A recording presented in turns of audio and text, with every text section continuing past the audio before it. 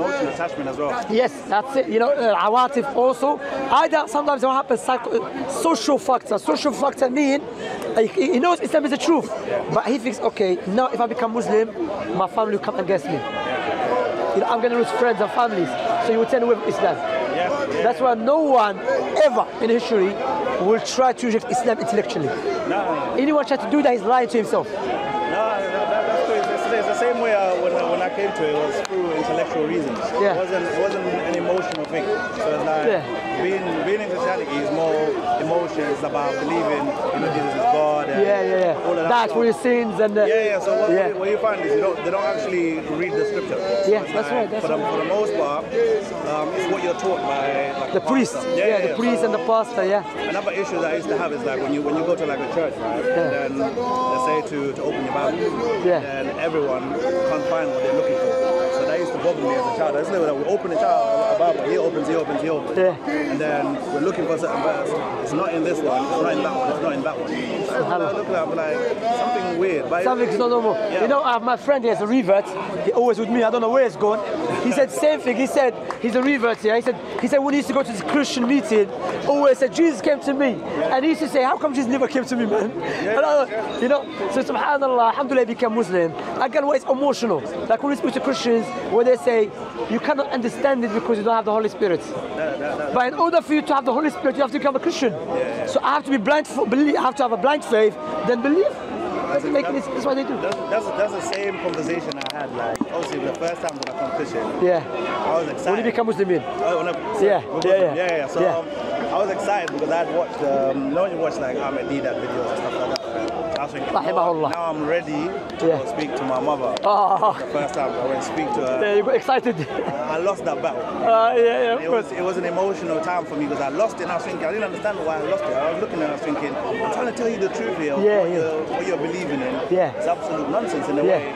But obviously, you know, being my mother, I'm thinking, Of course. I, I still have to have the respect. No doubt. Try to find a way to break it down. yeah. I didn't have the tools to break it down then. Yes. And then up until I come to a verse where, you know, in the Quran, when Allah says to the Prophet Sallallahu Alaihi Yeah, Wasallam, says to him, um, you cannot guide who you want.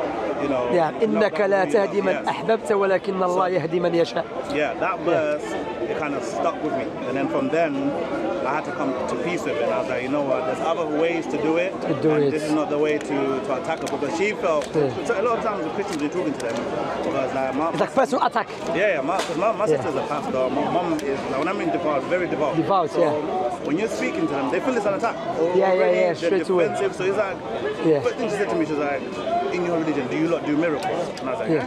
How do you mean miracles? Do you do you do you heal the sick, the sick, Yeah, all of yeah, that stuff? yeah. And that completely kind of threw me off because Yeah. then I was like, I didn't have the language or Yeah, yeah, yeah, yeah, yeah. But then later down the line, you know, she starts to, to understand a little bit. But as far as her coming, I said, you know, I just have to keep making. You know about this miracle thing, yeah? They say when you read on the body in the name of Jesus, you start acting up. That doesn't prove Christianity is correct. Because in Atan Ruqya, you know, when I do Ruqya, remember, I do Ruqya people, we sit in the West, I'm moving. I can't say to the person, believe in Islam is the truth because of Ruqya. No, no. That's why what dis- differentiate Islam from any religion, Islam gives you universal proof. Proof that everyone can analyze. Not a personal proof. Understand? Because the Hindus say same thing. Buddhists say same thing. So what happened with that? Sometimes the jinn can be someone who's just deceiving you. Yeah, yeah, yeah. Deceiving, make him believe what you're saying is, is true. this understand? Because remember, when you deal with the jinn, with the demons, you are dealing with the unseen. Like I, I, I, I had situations when I done the ruqya on a jinn, and jinn become Muslim. Oh. Now did he become Muslim? Allah, Alhamdulillah, but Allah knows best.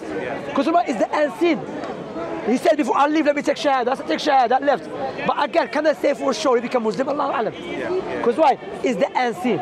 So can I say, can I, and if you notice my da'wah, even I had this many personal experience with the people, but I never used it in my da'wah to prove Islam is the truth. Yeah, you know, there's no need. Yeah, no, because I have universal proofs.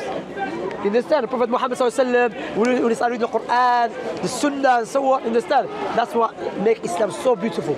Yeah, no, it's, it's, it's very much intellectual. The first time even when I heard like, speak, right? Yeah, rahimahullah. And then I was, I, I, I, first things I looked at him, I was standing because I knew a lot of stories like from um, Yusuf alayhi salam. Yusuf. Yeah, yeah. So know these stories growing up. Moses growing up. Moses, yeah, yeah, Abraham, Noah, yeah, yeah, But yeah. I had a distorted version. But then Distorted version, I like that one. I had this man standing there and he's telling the stories. I was like, what is he talking about? Yeah. Now I'm hearing them in versions that I've never heard. Heard them before, yeah. So he's, you know, he's battling these Christians and then they cannot answer his questions. They can't, yeah, yeah, yeah. then when I, He was I never, after them, man. Yeah, I never knew. I never knew about like Islam. you know. Islam, yeah, yeah. What is Islam? Yeah, what is it? My first encounter. Yeah. Speaking, and then, uh, then it intrigued my my um, curiosity. Curiosity, yes. Let me look and see what this man is. They say curiosity killed the, the, the cat. Yeah. But no, curiosity saved the cat. Yes. You know, a good example. Yes, yes. That's a good curiosity.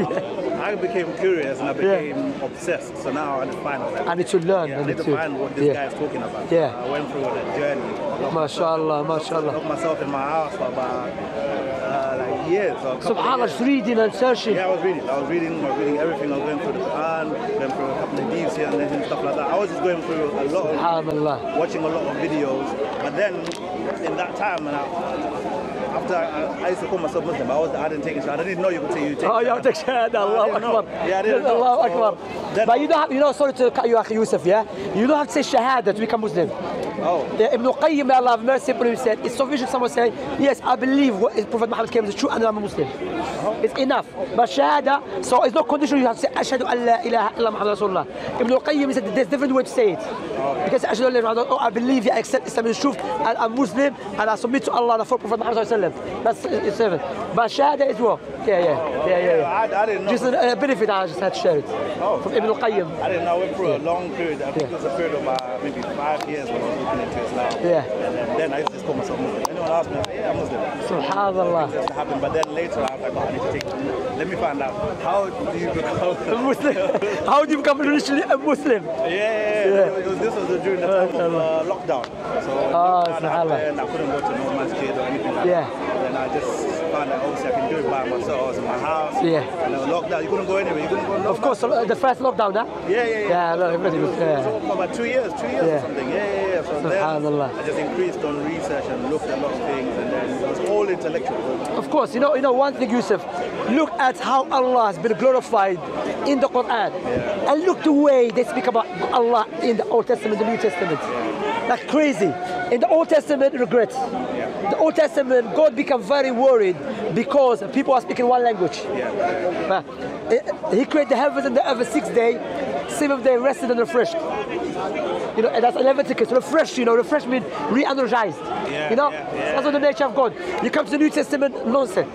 Again, when you compare the historical or the the, hist- the, the, the stories of the prophets and messengers in the Quran with the stories of the prophets and messengers in the Old Testament and the New Testament, you can see prophet, the prophets in the Quran they've been glorified, well respected. Why? Do you know why, Akhi Yusuf? Imagine you have uh, kids. Do you have kids? No, no, yeah. May Allah give you righteous, uh, righteous kids. Imagine you have a daughter or a boy. I said, look, there's a teacher. He's going to teach your child. But that teacher, he just had, had, had, had intercourse with his own daughters. Would you allow him to teach your child? If you go out, these guys no more. You understand? So Allah is the most wise. When Allah chose the prophets and messengers, He chose those who were known amongst the nation to be trustworthy, truthful, honest. You know, Moses. You look to in the story of the Old Testament, the one that called people to worship the the the, the, the calf is Aaron. But in the Quran, no, it's not Aaron, it's Samiri. Yeah, Allah defend, defend Aaron. yeah, yeah. So you can see that Allah subhanahu wa ta'ala sent the Quran to defend the owner and speak well of the Prophet and the messengers. So Prophet Muhammad alayhi salatu wasalam, logically, rationally, with our uh, uh, al-fitra, with our natural inclination, a man that is defending prophets and messengers in a good way, and it's not from God, but you claim you book from God, but it speaks about the prophets and messengers worse than Hitler and Stalin. Yeah, yeah. It, it, that, that, didn't make any sense. Because, uh, David. A, a, lot of them, yeah, yeah. David, he was, according to the Old Testament, a liar. He set up his own friend, his best friend, because he fell in love with a woman. Oh, his wife. His wife, akhi. Prophet Dawood, he was a righteous prophet, alayhi. We love him, you know. You come to uh, Prophet uh, Noah, he got drunk. أعوذ بالله. So, we're- so rationally, a man that receiving أعوذ بالله, that's they claim. A man is receiving the revelation from Satan he speaks in a best way, in a, in, in a perfect way about the prophets and messengers who God chose. This book, the Bible, they claim from God, but he speaks about God and the prophets and messengers in an evil way. كيف تحكمون? How can you judge? How can you claim your book, who is full of disrespect of God, disrespecting the prophets and messengers from God, but the other book who respects God, glorify God, glorify the prophets and messengers from Satan? It, it, it doesn't make any sense. Subhanallah. When you put it like that, that's, that, that, my first encounter was reading the stories of the prophets. The messengers, yes. Ibn Kathir. Yeah, yeah, Ibn yeah. Kathir, may Allah have mercy read, upon him. I read that, that, that, that book, Stories of Prophets, and I went through that whole thing. And then that's when I realized, I partly realized, I was like, this is all wrong. Because now when you're hearing stories from the Bible, like, who's actually writing this? This is, this is another thing I stumbled on. I was like, who's actually writing this? Yes. And then when I, when I did the research now to look into the Bible to see, to find Oh, yes. Oh, okay. the, the writers, Yeah. anonymous. So you went deeper. You could find even the writers. I, I went deep because because it was it was a thing where I was trying to prove because my first encounter was I was trying to prove because um, I used to I used to do music so I, I, Okay. I was trying to find why people worship the devil so this is where I stumbled upon it now going into it Yeah. I was like so why would someone distort something that's called the word of God Yeah. to, to write such horrible things but there's there's some disgusting things that I read in there you know about I, I wouldn't even want Of to say course, it. it's about Yeah. Solomon. yeah yeah Solomon yeah. and about God, how he described the woman's body. Yeah, yeah, yeah. Yeah, yeah, So- yeah, so finally- I, I, that's one of the things I asked. Like, sometimes I was like, if, if this is the word of God, why would you have such filth that I can't read to my nieces? Yeah, yeah, Like, I would imagine now I have to read this book to them. I, I can't read this stuff to them because, Yeah. and say because they're gonna look at me and say like, why am I exposing them to? Yeah. So it doesn't make sense to me. So, Even about Isaiah, for example, uh, sorry to. Isaiah is the prince of the prophets and messengers. Isaiah, he claimed his miracle was two years to walk around naked. huh? That's yeah, that's the Old Testament. That's, that's a miracle. The sign. So Isaiah's sign was he has to walk naked for two years. Anyone can do that. That's crazy. That's crazy. Well, alhamdulillah, got Islam is a ni'mah, alhamdulillah. That's why, you know, you know, that's why I always mention in my videos.